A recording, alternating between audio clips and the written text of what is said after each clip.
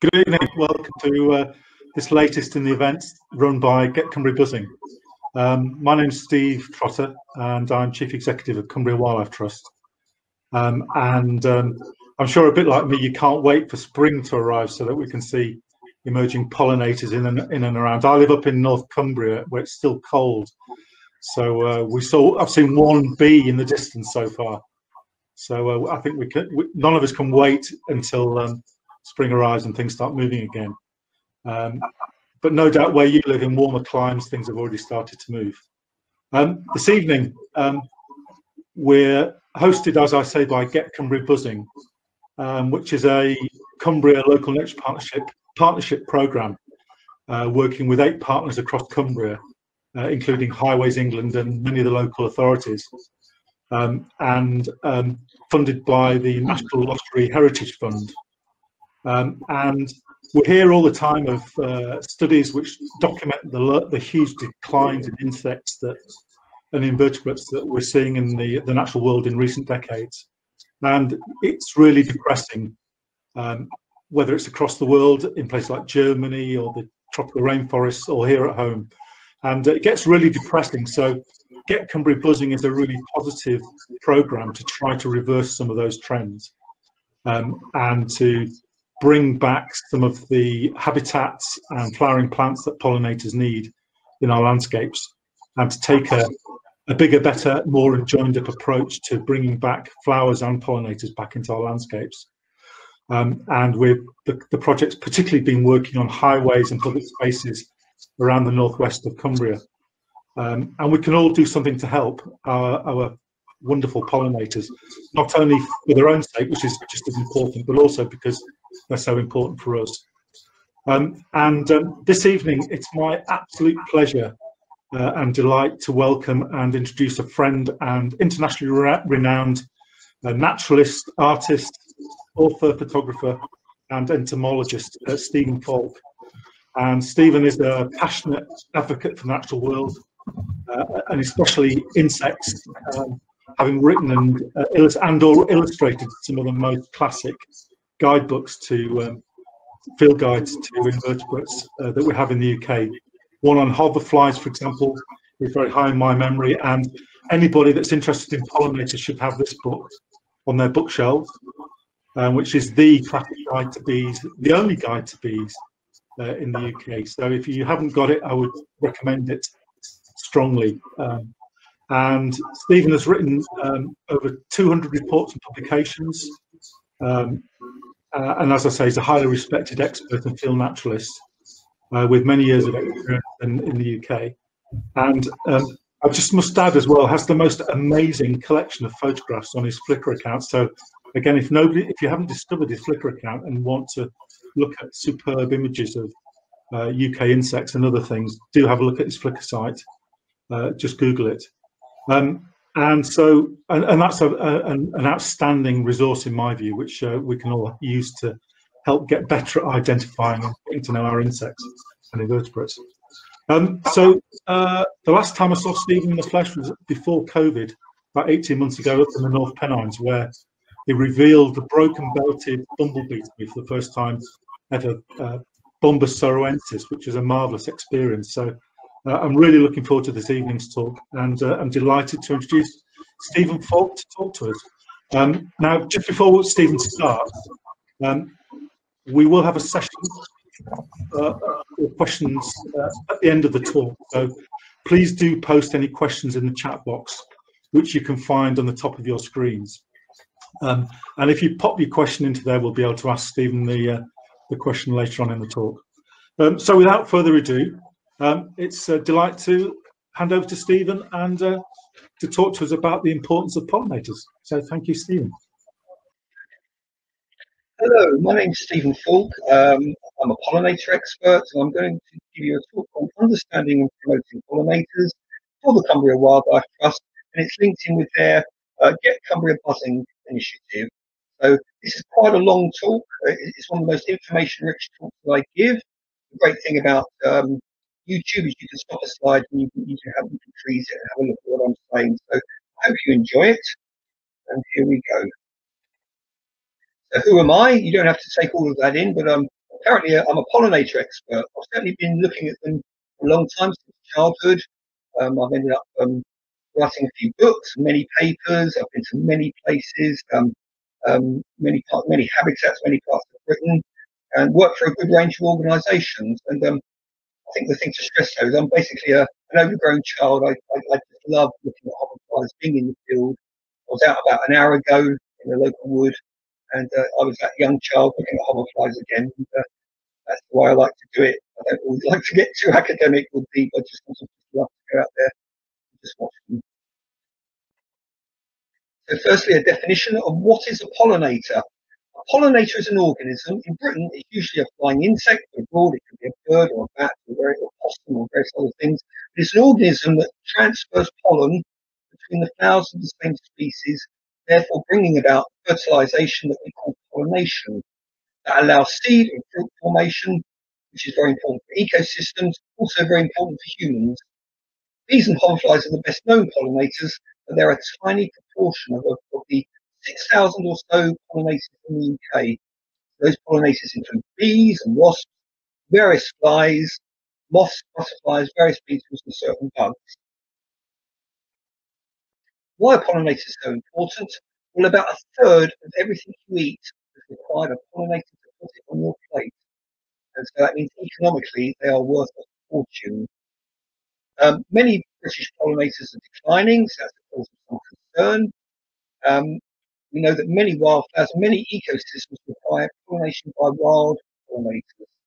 And, and there aren't enough honeybees to go around. Honeybees only pollinate about a third crops. So give some examples there in yellow of things that require pollination by insects. And just remember, you can't have a fight without a pollinator. Okay, some pollinator facts. Over 24,000 species of insects occur on the British list, and about 6,000 of those are flower visitors. Um, that includes 2,000 sorts of wasp, 270 bees, 1,800 flies, and at least 1,500 butterflies and moths, and a few beetles too. And that pie diagram on the right there kind of gives you a, a feel for the different species that make up our pollinators. Um, bees and hoverflies are the most important of those. So even though they make up a very small proportion of the pie diagram, they're doing a lot of the actual transportation of the pollen because they're very active and they tend to be quite loyal to flower species and they pick up a lot of pollen on their bodies. It's worth saying the UK honeybee stock only pollinates about one third of our crops. So wild pollinators do the rest and for free. And that's important because in some parts of the world where the environment is very, very um, um, uh, meager and it's been sort of heavily damaged, there aren't many wild pollinators. And there are bits of the, parts of the world where they have to do either hand pollination or they literally have to drive honeybees around in lorries to do the pollination of things like almonds and fruit trees. And that's a situation we, we want to avoid in Britain. Okay, pollinator declines. It's important we understand the reasons why pollinators have declined because uh, if we want to fix things, we have to understand the forces that have um, created problems in the past. So if we just concentrate on bees, 23 species of bee have already been lost in about the last 150 years. Another five or six species are critically endangered. Half of our bumblebees have declined substantially. And it's worth saying that bees exhibit some absolutely dreadful individual species declines. And in fact, if you look at that map on the right there, that's the map of the great yellow bumblebee, and there is the great yellow bumblebee below it, a really beautiful bee. If you look at that map, it's full of hollow circles all over England and bits of Wales and Ireland. That's where it used to occur historically. But if you look at the top around the fringes of Scotland, where the solid circles are, that's where the great yellow bumblebee survives today. So it's shown a massive retreat to northern fringes of, of Scotland, about a 98% decline. The one in the middle, the short head bumblebee, retreated the other way. It retreated south from most parts of Britain, of England. It ended up at Dungeness in Kent, and everyone thought, oh, it, will be okay there. Dungeness is a national nature reserve. It's a huge site, but it wasn't. About 20 years ago, it disappeared. It's now being reintroduced again. And then the one, the saddest story, the one on the left, Cullum's bumblebee, in fact, that one's mislabeled as Bombus lapidarius, which is the common red-tailed bumblebee because the, the, females look so similar. But Cullum's bumblebee, um, when we when we found the specimens in museums, we were able to tell they weren't the, the red-tailed bumblebee, we realised it was a special bee of a habitat called sheepwalks. So the sheepwalks were the vast expanses of chalk grassland that used to occur across the North Downs and the Cotswolds and the Chilterns and, and bits of East Anglia. And that was the special habitat of this bee. And as soon as things like uh, the Enclosure Acts came along 200 years ago and the various ways of, of agricultural intensification, those vast tracts of flowery chalk grassland disappeared and the bee went with it. And, and I think what's particularly sad is Cullum's bumblebee was described new to science from Ipswich in Suffolk. So it's a British bee, but it hasn't been seen in Britain for, I don't know, 70 years. And it's almost fully extinct in, in Europe now. So it's a really sad story. And the reasons for these pollinator declines, well, habitat loss and fragmentation. Some of these insects, they need vast tracts of, of, of suitable habitat. They can't survive in small isolated sites. There's habitat destruction, that includes succession, you know, when the scrub and the woodland takes over a grassland or, or a marsh. Neglect, poor management, such as cutting at a bad time of year. Impacts of pollutions, such as waterborne runoff or aerial nitrogen dioxide. It's worth saying nitrogen dioxide, it's almost, it's almost like the rain has turned into um, a form of fertilizer um, and it can, it can, um, it can, it can fertilize the soil. It can cause the flower communities to change. Um, and then it can affect the insects and, and, other wildlife. It's a big problem in places like the Pennines, also the Low Countries, places like the Netherlands. Uh, agrichemicals, uh, fertilizers, herbicides, and especially neonics, which are of course are very controversial at the moment. Right, disease, and that B in the middle at the bottom there, that is Bombus terrestris. Now we get Bombus terrestris in Britain. It's what we call the buff-tailed bumblebee, um, and it's flying at the moment in mid-March you'll notice that one doesn't have a white tail. Has, sorry, a, a buff tail. It has a white tail because it's actually the foreign continental form of the buff-tailed bumblebee. And the story there is that for, for quite a long time, people were introducing um, these bees in from Europe. They breed them commercially in Europe. They bring them into Britain for um, um, greenhouse pollination, and they take them to many other parts of the world. But they don't just take the bee to other parts of the world. They take all its diseases with it. And in places like South America, the native bumblebees are declining dramatically because of European Bombus terrestris and all the diseases. It's very much like the story of smallpox being taken taken by the, the conquistadors to South America. And of course, the populations that they encountered were naive to that disease and had no resistance. And that's kind of what's happening with the bumblebees. You know, the bumblebees of these other places, they can't cope with the diseases in the European bumblebees. And then, of course, we have all the climatic factors, the, the, the cold springs, the wet summers, the mild winters, the droughts. Um, it's a barrage of attacks on, on um, pollinators, and it makes life quite challenging for them at the moment. Oops. Sorry about that. Uh, there are also pollinator increases, so it's not all losses, there's gains as well. Um, we've gained 12 new bee species just since 2015 when I did my um, I wrote my field guide to British bees. Um, some of those species are arriving here because basically Europe is getting warmer and drier and populations of insects are desperately trying to shift themselves north to the climatic optimum and the ones that can are flying across the um, the English Channel or the North Sea to try and colonize Britain. So in, in a sense, it's quite exciting because we, we always get excited when we see new insects in Britain, but it is telling a story that's quite worrying it's a story of climate change.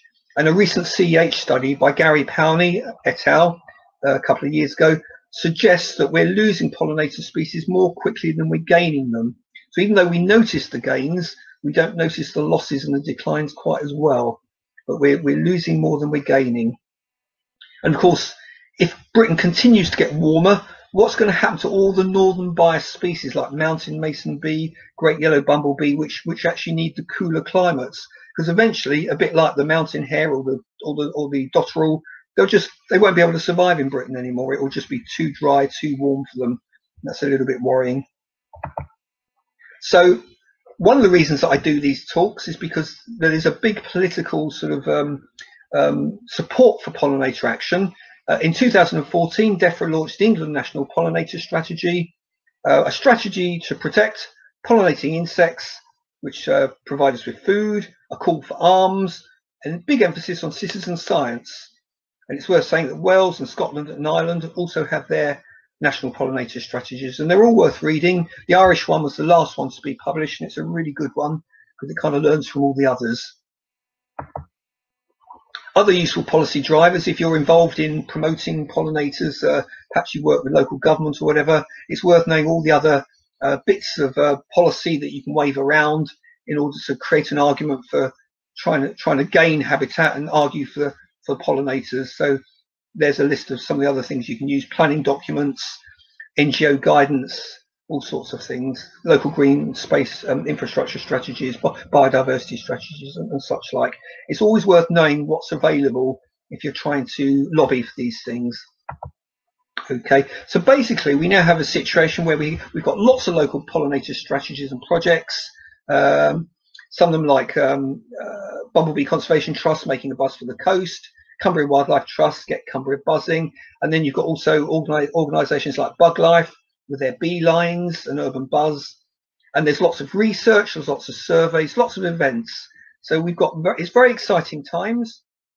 It's very exciting to be involved in this in this area of, of work, I must say.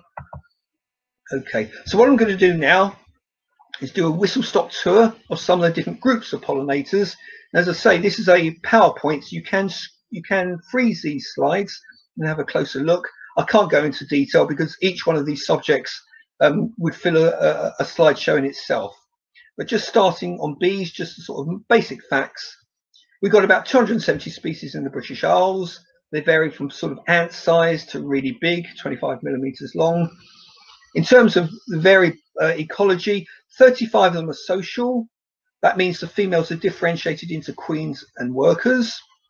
About 80 of them are cuckoos of other bees, and that one in the middle there that looks like a wasp, that's a nomad bee, what it does is it goes into the nest of a mining bee, lays its eggs, and then its eggs develop in the nest cells of the mining bee. So, as I say, we've got about 80 cuckoos. That leaves about 155 solitary species. And of those, about 120 um, species nest in the ground. So sandy footpaths, earth banks and such like. About 70 species nest aerially in bee hotels, old walls, deadwood and such like. In terms of collecting pollen, um, usually it's collected on the hind leg in, on what's called a pollen brush or a pollen basket. But if you look on the right there, you can see that bee, a type of mason bee, has got the pollen underneath the abdomen. And that's something that the mason bees and the leafcutter bees and their relatives do.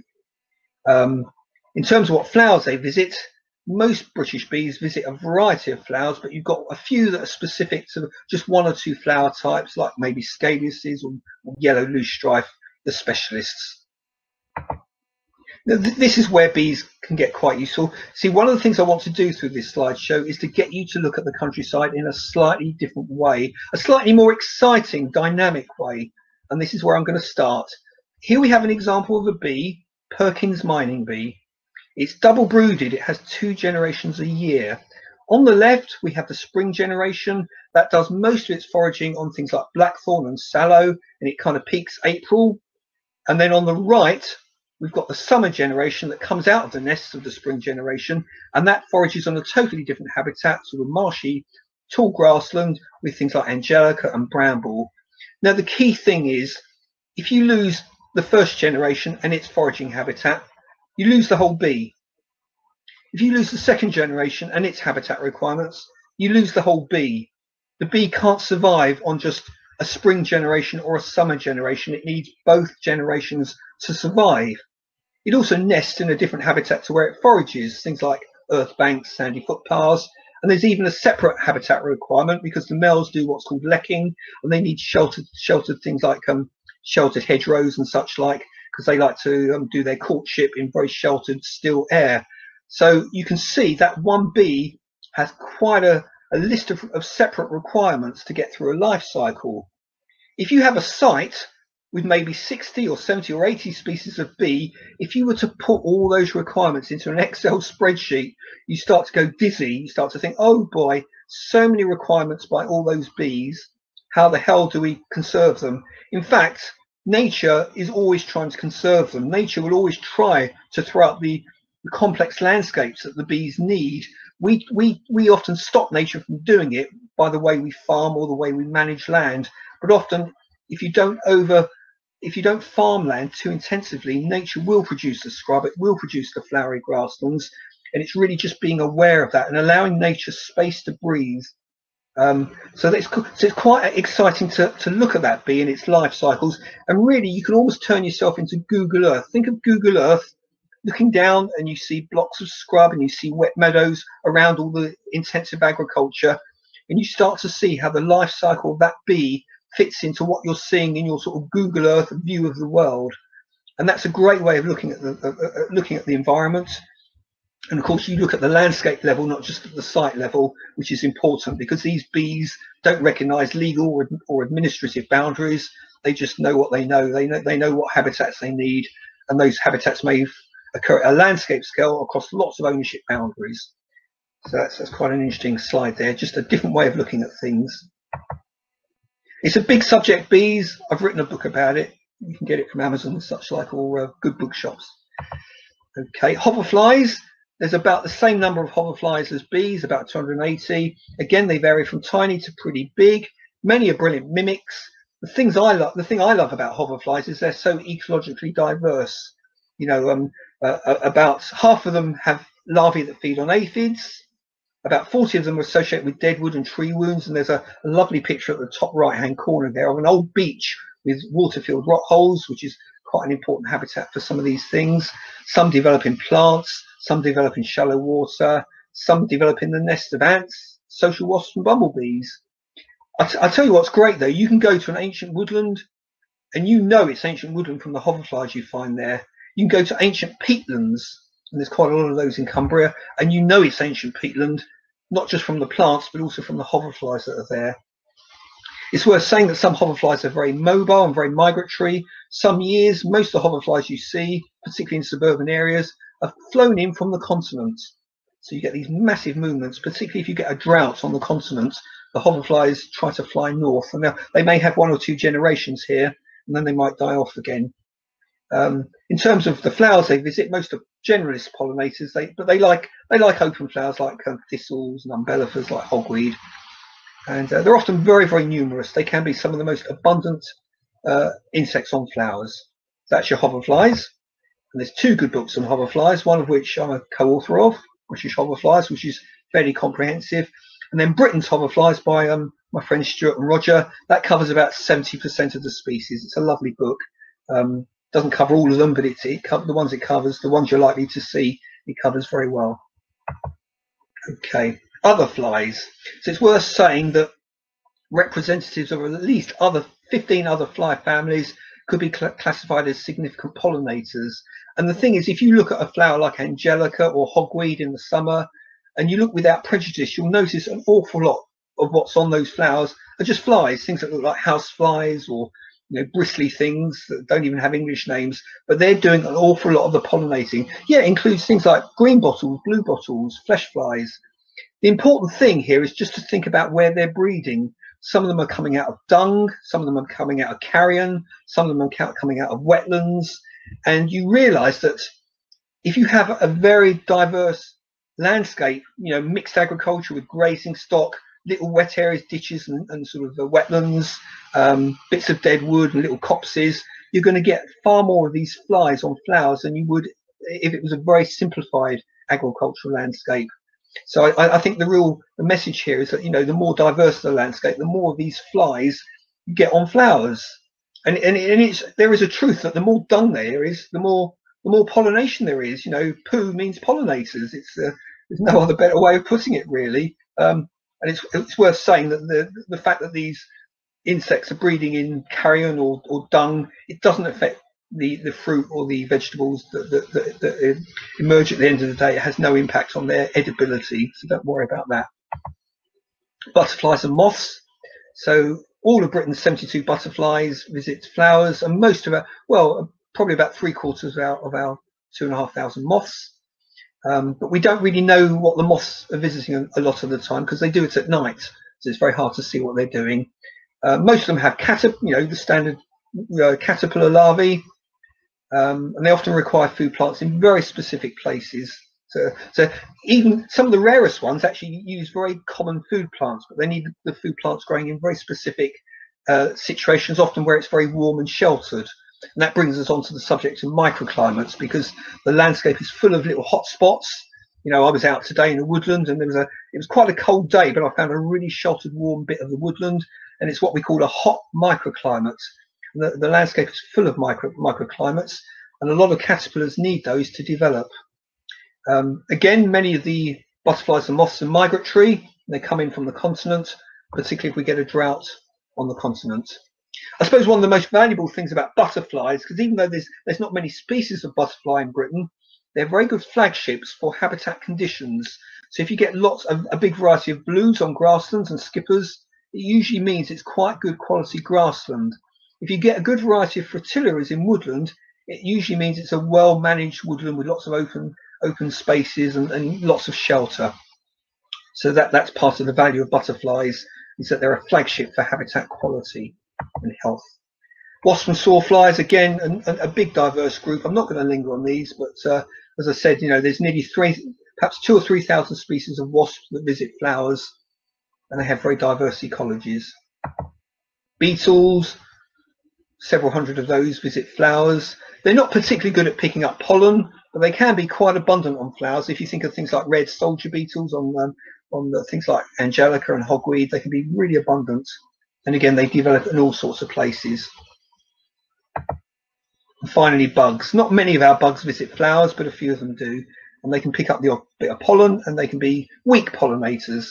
But the thing about weak pollinators, if you have many, many weak, if you have a superabundance of weak pollinators, that can actually spell out, that can actually make a lot of pollination um, you know, so don't write off the weak pollinators because a lot of superabundance of weak pollinators can still be a substantial amount of pollination. So the key messages here, many types of pollinators that visit many types of flowers. The larvae have all sorts of life cycles in all sorts of places. And that's very important about how we manage the landscape. Yeah, most critically, the larvae and the adult requirements are often very different. And it's important because all too often we put the emphasis on the needs of the adults, we put flowers out, but we don't create the larval habitats. If you don't create the larval habitats, you won't get the adults. Some adult pollinators, notably bees, have very long foraging periods, which means you need a landscape that has everything from the pussy willow and the blackthorn in the spring, right through to the ivy in the autumn, and everything in between.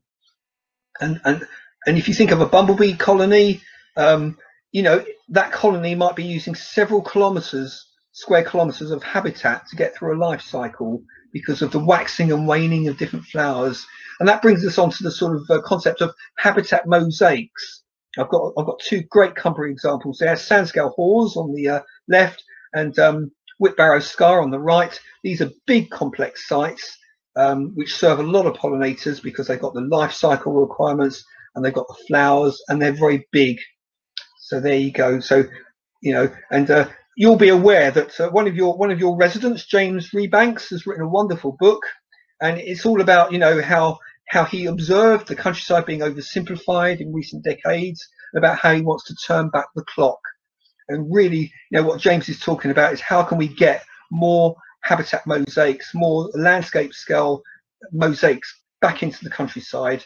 You know, more sand scale haws, more Whitbarrow scars, um, all over Britain because that's really, you know, it's, it's, as John Lawton said, more, bigger, bigger, better joined up. That's what we're aiming for. Okay, so what I'm going to do now, and bear in mind you can freeze these slides, I'm going to do a whistle stop tour of the major habitat types of Britain, just with the key messages. Now, each one of these habitats would easily fill up a slideshow, an hour, maybe a, maybe a whole day of, of talking. Um, so I'm just going to really just deal with the real bullet points just to get you thinking, just to get you viewing these habitats in a slightly different way. So here goes with grassland. The first thing to say, existing old species rich grassland, it's very scarce. You know, there's that figure of 97% loss of species rich grassland in, in the last 100 years. So any of that should be retained and enhanced wherever possible. It's a no-brainer. Lots of people like to use wildflower seed mixes. Be careful where you use them if you use them in the wrong place, it's like tree planting in the wrong place. You can do a lot of damage. Be careful where you put your wildflower seed mixes. Make sure your wildflower seed mixes are appropriate to where you're putting them. And in fact, a lot of people prefer to use green hay because you can use green hay from a local source and you can move it to another place nearby where you know the soil is right for that seed mix. So green hay is even better. Obviously, if you've got a commercial hay crop, you have to take the cuts in July. But if you're cutting grassland, isn't for a hay crop, really try and cut it as late as possible. You know, maybe late summer or early autumn. Really depends on the nature of the grassland. You know, if it's got things like devil's bit scabious, you don't want to cut it before really mid-September. But a lot of grasslands you can cut probably by early September. If, if you are doing lots of cutting, try to leave some areas uncut, perhaps the edges, or perhaps if you've got a, field, a series of fields, perhaps leave one or two of a series of fields uncut. So you've got some structural diversity within your landscape, tussocky grassland, places where insects can overwinter and such like. In terms of grazing, grazing is a very important management tool, but if you graze in the summer or if you graze species rich grasslands in the summer, you can eliminate your flowers. So it's always worth resting a good species rich meadow in, the, in over the summer months to let them flower properly. Um, now, I've, I've, mentioned there dandelions, thistles, ragworts. These are plants that are often covered by um, acts such as the, um, um, or what do they call it, the, uh, the Injurious Weeds Act or the Ragwort Act. I have to say dandelions, creeping thistle, common ragwort are amazing flowers for insects and pollinators. And what I would say is, you know, you don't want to get them, you don't want to let them um, get out of control but you can, you know, if you can tolerate them, the legislation doesn't say you have to eliminate them or eradicate them. It says you have to control them, which that, that means that there are places where you can, where you can tolerate them. But you know, dandelions in May can be absolutely full of insects. You know, a good a good um, um, stand of, of spear thistle can be absolutely brilliant. Go and look at it without prejudice. Also, common ragwort along road verges and, and in certain habitats it can be absolutely, it can have more insects on it than any other flower in certain weeks of the year. Obviously, you don't want it in a hay crop, that goes without saying. Um, legumes, people often think of legumes as important for pollinators. They are for the bees.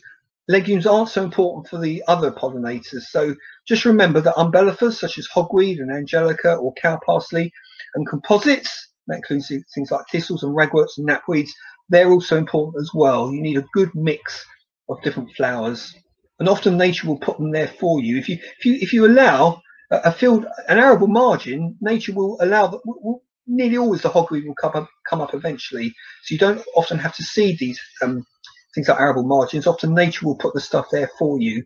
Also, just remember the other little details: the old ant hills, the damp depressions, the ditches, the pools, because these are also very valuable grassland features. Hedges. Hedges are a really important part of the British landscape. Hedge landscapes are quite rare on an international basis. We, we take them for granted, but they're very much re restricted to Britain, the bocage, bits of the Iberian Peninsula. You know, uh, hedge landscapes, you don't see them much in America. Very different type of landscape there. So hedges, they're very important. Important for all sorts of reasons. Firstly, um, they often have lots of blossoming shrubs. They often have what's called a blossom sequence. And uh, I'm talking in mid-March and the cherry plum is now in flower in the, in the hedges. Soon the goat willow will be out, followed by the blackthorn, the wild crab, the field maple, the hawthorn, the guelder rose, and eventually the elder. And of course, that will, that will depend on where you are and also how old your hedge is. Annual hedge trimming is bad for blossom. Try to cut your hedges on a cycle of at least three years because you get more blossom, also more fruit. Um, it's worth saying that um, if you can allow certain stretches of, of, hedge to grow out a bit, that's good as well. A little bit of black, outgrowing blackthorn hedge is fantastic.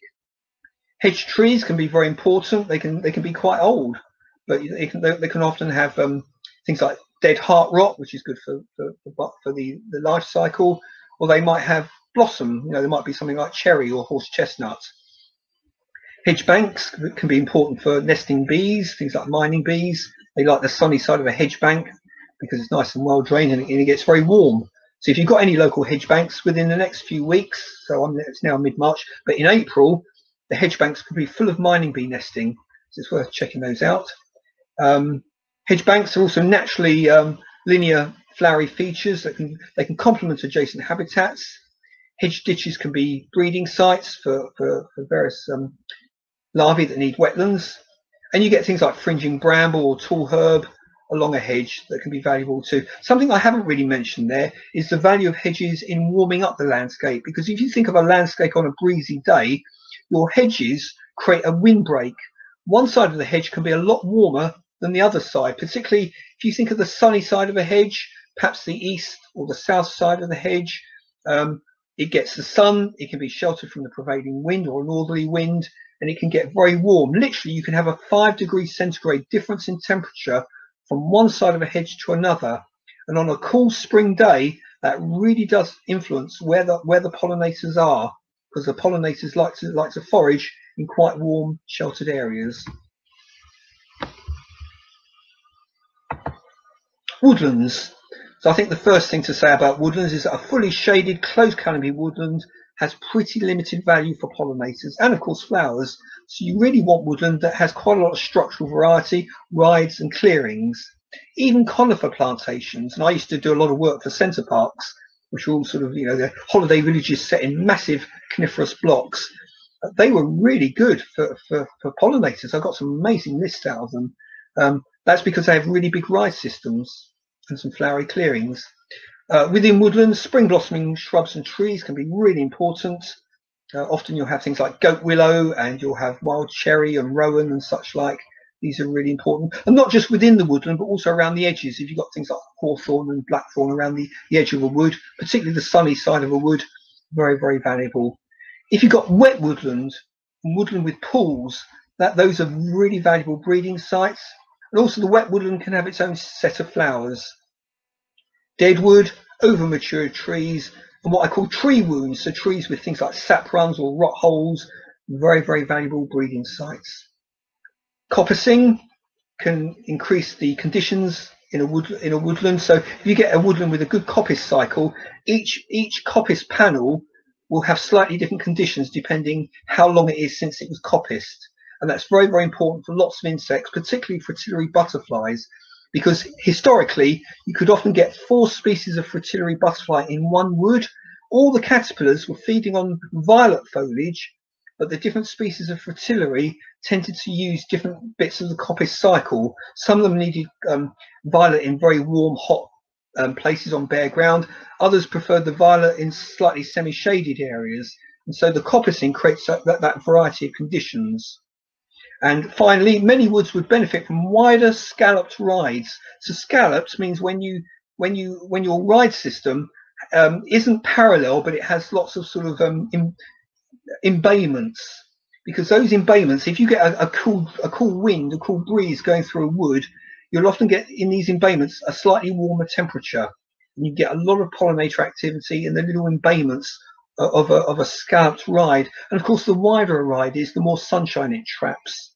So scalloped rides, um, I'm sure if you put it in Google, you'll find a lot of information from people like Butterfly Conservation, but scalloped rides creates much better quality woodland for all sorts of wildlife, but particularly pollinators. Here, here we have some key woodland butterflies, wood white, silver-washed fritillary, um, purple, um, purple emperor, white admiral, and these are all butterflies that benefit from open bits within woodland. If you have dense, closed canopy woodland, you won't find them.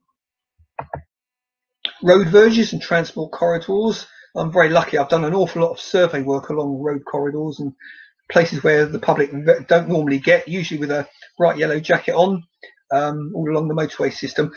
Uh, I, I, guess the first thing to say is that road verges and, and, and sort of railway lines, they are de facto wildlife corridors. Often they are the most flowery features in, in intensive agriculture or in uplands. You can go to some of the most remote uplands and all your thistles, all your other flowers, your rosebay willow herb are along the road verges and, and the rest of the uplands are very flower, particularly there's lots of sheep grazing, are very sort of uh, flower poor. So they are very valuable wildlife corridors.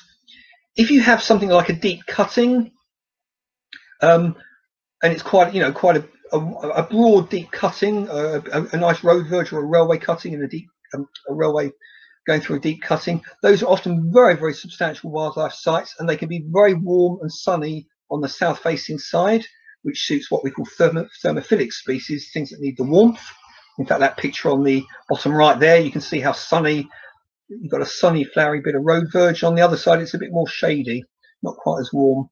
So, but it's worth saying that if you get drought summers, the north facing slopes um, on a cutting are cooler and damper and they can keep their flowers later.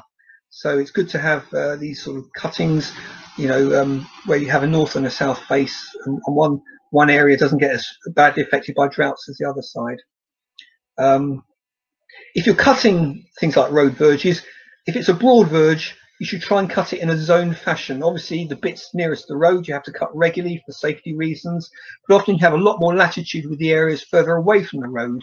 And it may be you just cut one zone twice a year, and there might be a zone furthest from the road where you only have to cut it every year or every other year.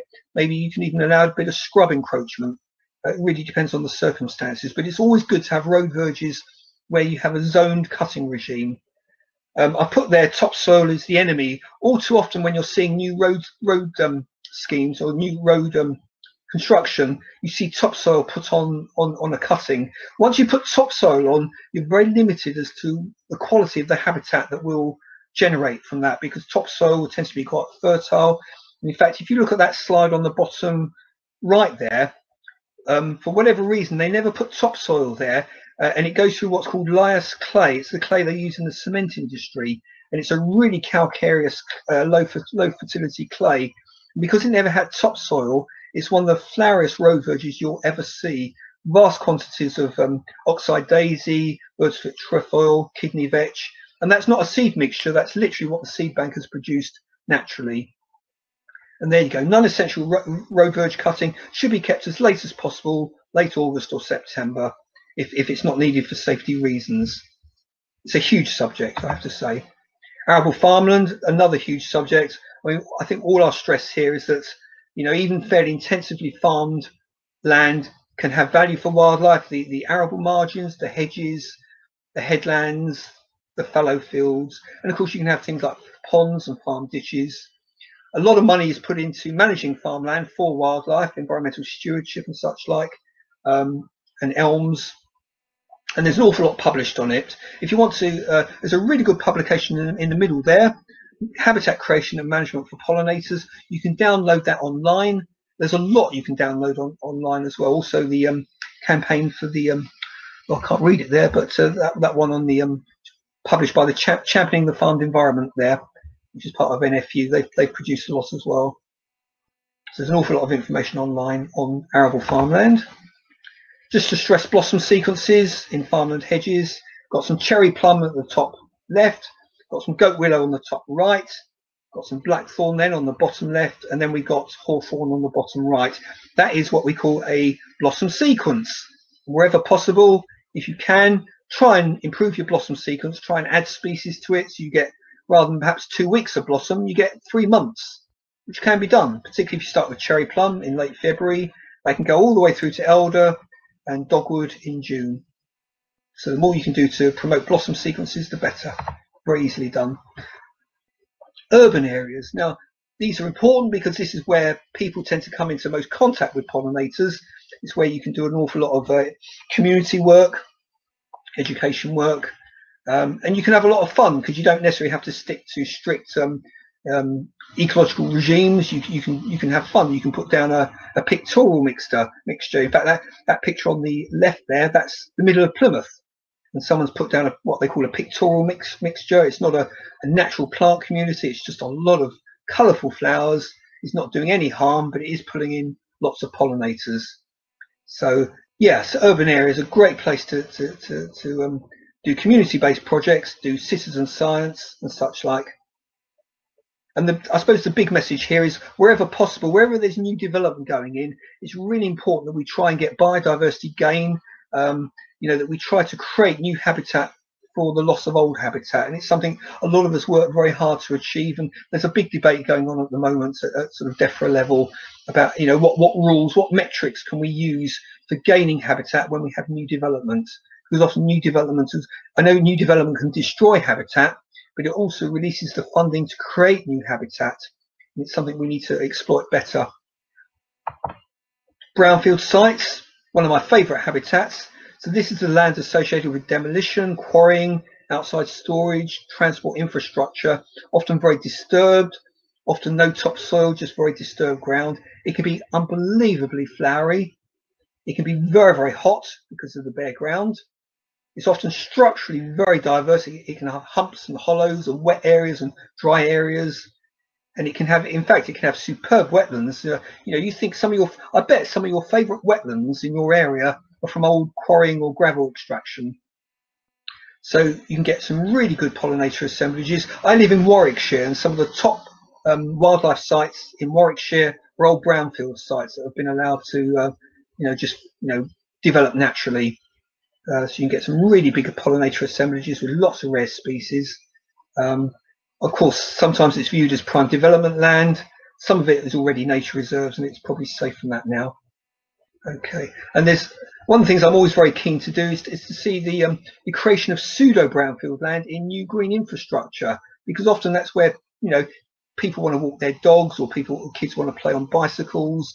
They, they just want sort of, you know, let's create pseudo brownfield land in new development, you know, land with humps and hollows and places where we, you know, we can just let the weeds come in, the weeds, you know, bramble and scrub, and uh, and you don't have to put topsoil in. Um, I'd love to see more pseudo brownfield habitat creation, you know, deliberate creation of brownfield land for for wildlife, wetlands. So these can often be a feature of the other habitats I've mentioned, but I, I guess the main thing to say is that um, you know they're very important both for the adults and the larvae. They can be very flowery, they also have all sorts of habit, habitats for, for larval development. On the right there is a rat-tailed maggot. Those ugly creatures turn into beautiful hoverflies. So from maggots, you get these, you know, it's like the ugly duckling. You get these wonderful hoverflies that breed in um, shallow water.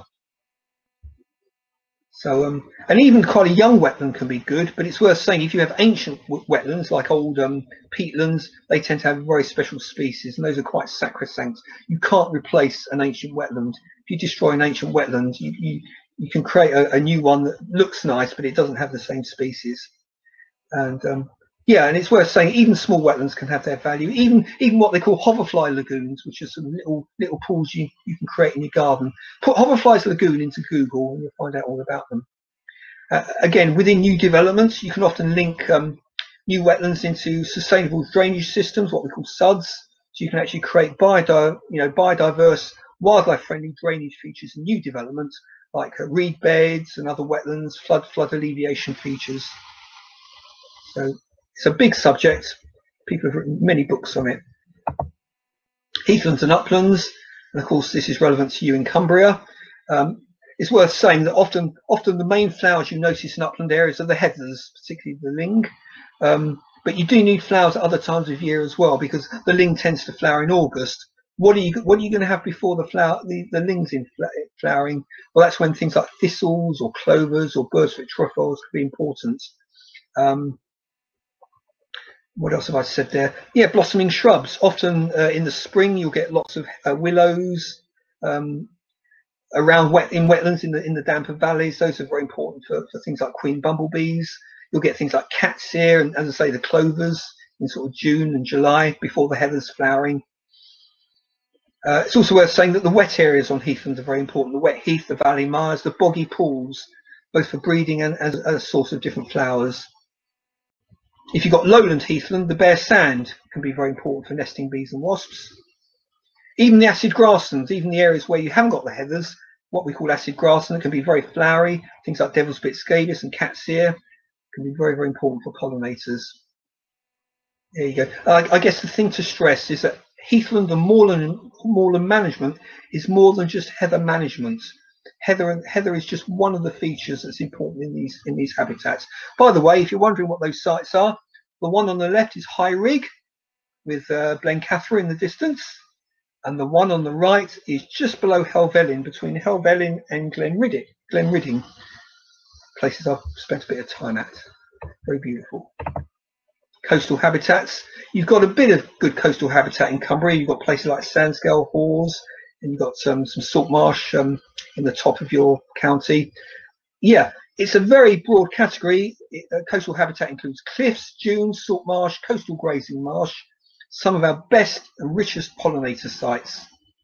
Um, Cliffs and dunes can support very hot, warm, dry habitats, but you also get wetlands um, such as cliff seepages, wet dune slacks, coastal grazing marsh with their ditches. You get good wetlands too.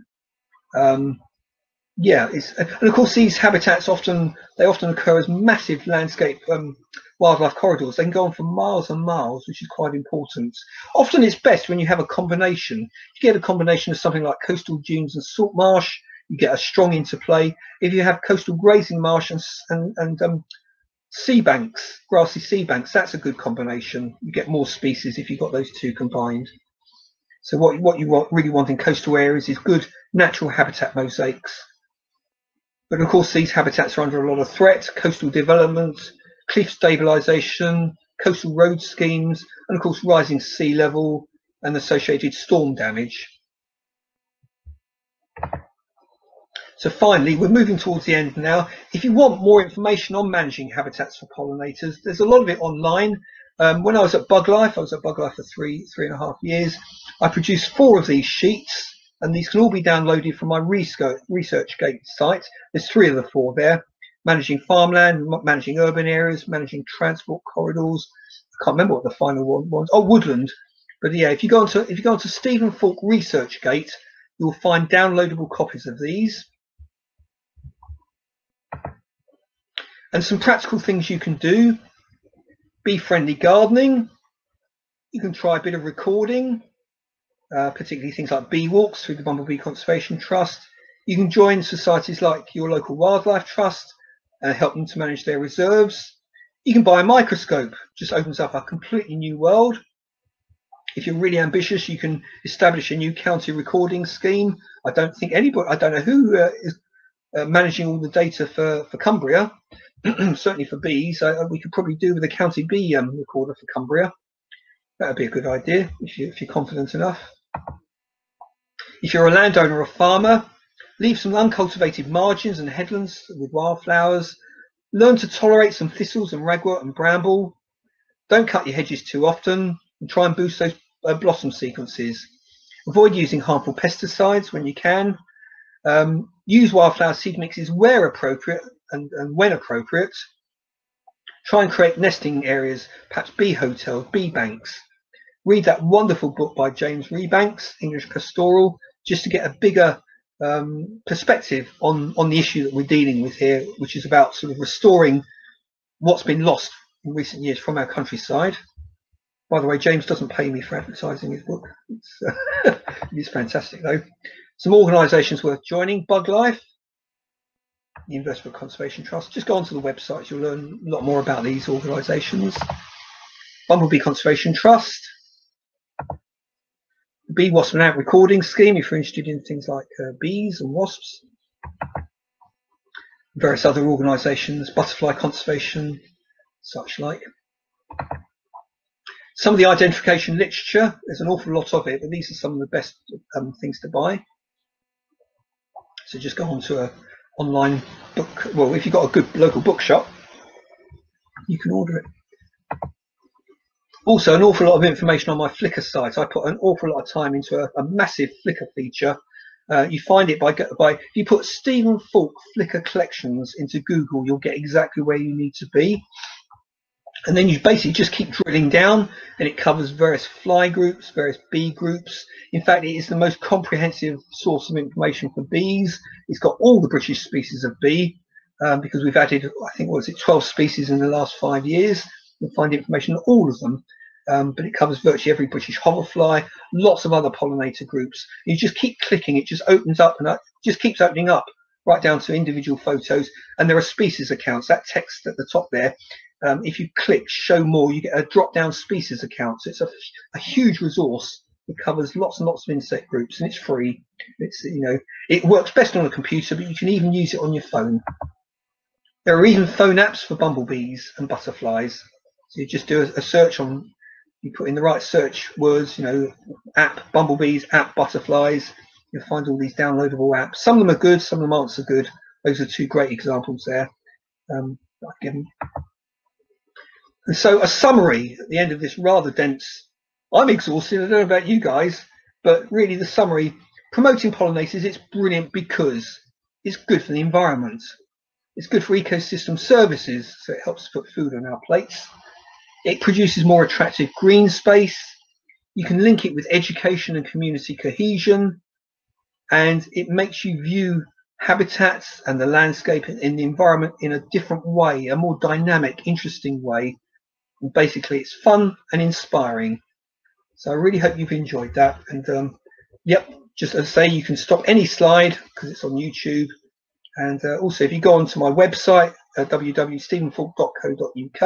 or my ResearchGate site, you'll find lots and lots more information linked to this talk.